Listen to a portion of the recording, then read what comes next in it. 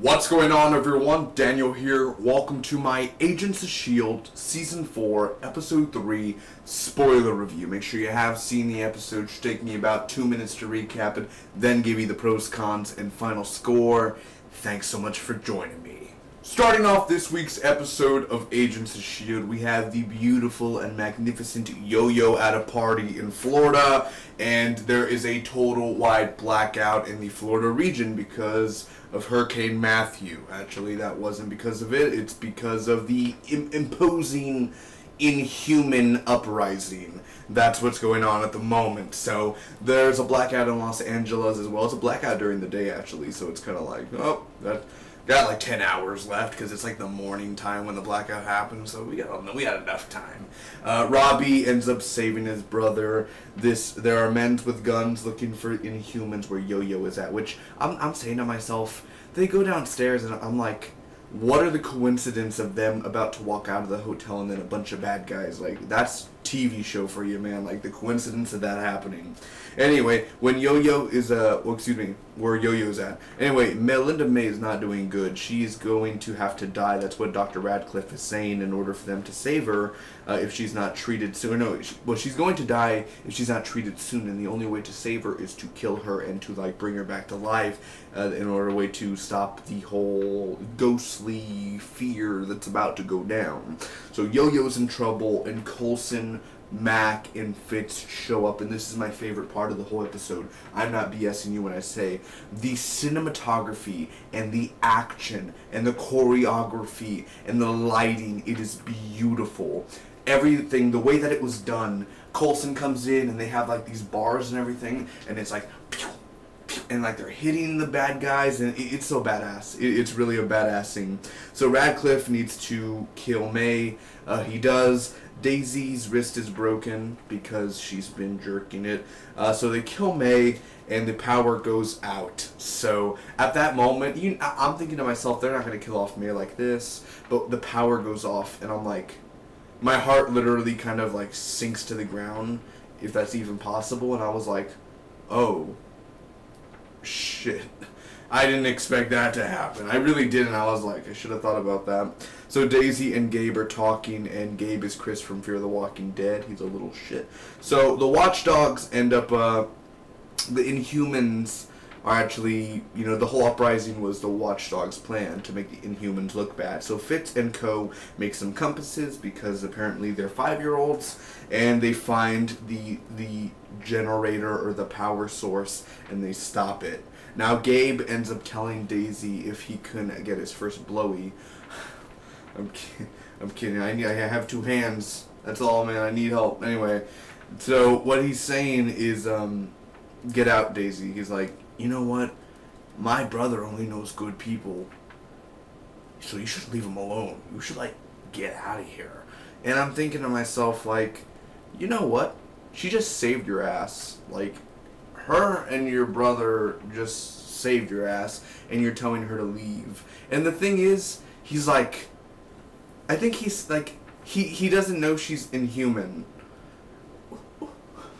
What were you doing? I saw you looking at her when she was like to the guy and then he gets thrown. Like, how else did he get thrown? Like, are you stupid? Did you not? You were looking at her when that happened.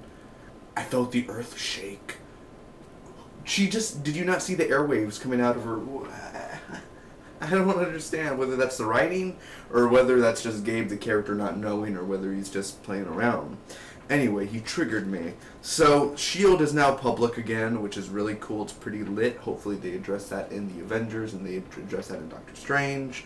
So, again, May is saved. She's fine. She's good. She just had a little um, STD nap. And the Senator, at the end, there's this whole, like, post-credit scene where a Senator is inhuman, I guess, or she's in this house, and it's pretty weird, and I don't care for it at all. So, now on to the pros and cons. Y'all already know it. My first pros for this episode is Coulson, Mac, and Fitz fighting the watchdogs and saving Yo-Yo and her friends. Next would have to be the practical and CGI effects. Now, not much CG was done during this episode. Uh, it was pretty much more choreography, more practical, and then the only real CGI effects that we had was um, Daisy or Quake using her powers against that one guy and Gabe not looking. So for the most part, really, really great with the practical and CGI effects. I really love the idea of S.H.I.E.L.D. becoming public again. There are no more hiding in the shadows, no more worrying about Hydra and overtaking the S.H.I.E.L.D. That's all Season 2 stuff. It was great for the time being, but now we are finally up and in the air. No more hiding for the most part of Melinda May's story, it was pretty emotional. I was getting sad, and I didn't drop a tear because when when he ended up talking about the battery and he went to the AI and everything and he got the little the the charge, I was like, okay, she's not gonna die. But right when uh, Simmons ended up pumping, and she was like, "No, May, no, May." That's when I started getting emotional, and I was like, "They can't kill her like this. This ain't a way for them to kill off Melinda May like that." And I'm very, very, very happy they didn't kill her off. Now, Robbie belled Daisy the whole day. She must have smelled bad or something because when he he went to go get medical stuff, he never came back till the morning. He probably was like, I ain't dealing with that girl again. She's probably dirty. No way uh-uh, I'm gonna go to my girl Chica's house down the road, you know what I'm saying? Just gotta, gotta lighten up a little bit. You know, Holmes, it's okay, I'm Hispanic. I always have to address this. I am Hispanic. I look white. I'm Hispanic, trust me. That's why Rodriguez, Rodriguez, oh, Rodriguez is the last name. Anyway, so, what was I talking about again? Oh yeah, the the only good scenes really between Robbie and Daisy were when they were in the car in the beginning and they were talking and he was driving past all the dead cars that weren't working because the EMP went off. Uh, so that was really like I was like happy. I was like Robbie and Daisy or Quake, they're actually talking finally. They're they're, they're you know not angry at each other. They're kind of just getting to know each other like on a road trip, except they're driving around Los Angeles. Now, some stuff I didn't like about this episode. Gabe telling Daisy to leave. You know what, Gabe? Why don't you make her leave? You know? Why don't you make her leave, huh? You're just gonna hurt her with words. That's something that I didn't like. I'm just saying, Daisy, like, I saved you, and, like, I'll leave when Robbie comes back. But the thing is, why did Robbie take all night? Why did he take all night? I, I don't understand that. Like, why? Now, like I said earlier, the action in this episode was great, of course, I cannot deny that. But, uh, you know, 100% honesty, that, after the action scene, they made the compasses, that was a little silly. I know it was his MacGyver moment and everything, but it was pretty silly, you know, it, it was, you think about it. No, no, don't think about it like as, no, it's really silly. It's a really silly, silly thing to do. And, and, you know what I mean? Like, they don't have the power. I understand, you know, Coulson's hand, stuff like that. But then they show up, and I love it because Yo-Yo, Yo-Yo ends up doing the she, she becomes the Flash, or in, in Marvel's case, she becomes Quicksilver. And I thought it was cheesy when she was like, you could see her doing like, I thought that was kind of like Quicksilverish from X Men side. I thought I thought that was kind of like, um, yeah, no, you're not gonna do it as cool as Quicksilver did it.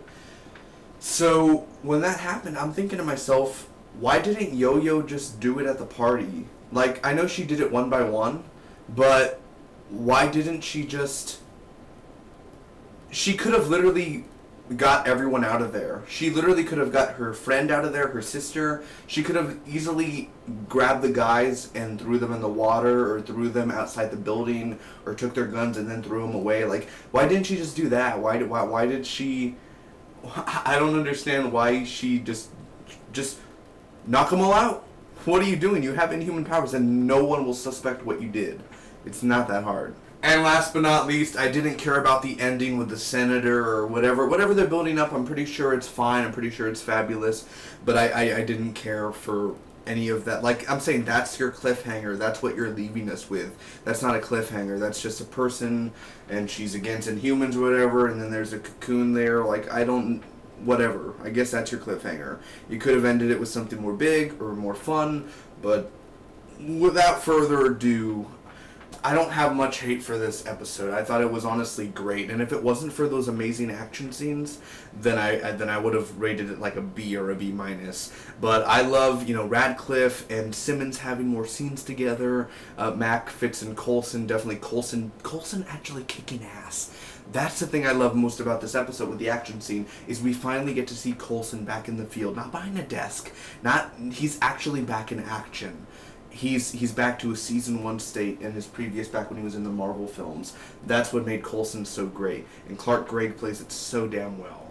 So I'm gonna give Agents of Shield season four, episode three, an A minus. Thanks for watching, everyone. If you enjoyed, make sure to smack the like button. You comment down below, tell me what you guys thought about the episode. Do you agree? Do you disagree? Do you think Robbie left the entire night because he didn't want to smell that stuff, whatever Daisy has on her? Maybe she has bad perfume. Maybe she has, I don't know, maybe she's just STDs. I, under, I don't understand. Maybe he could just sense it and he's like, that is not worth firing her up and taking her soul and burning her. That is not worth it.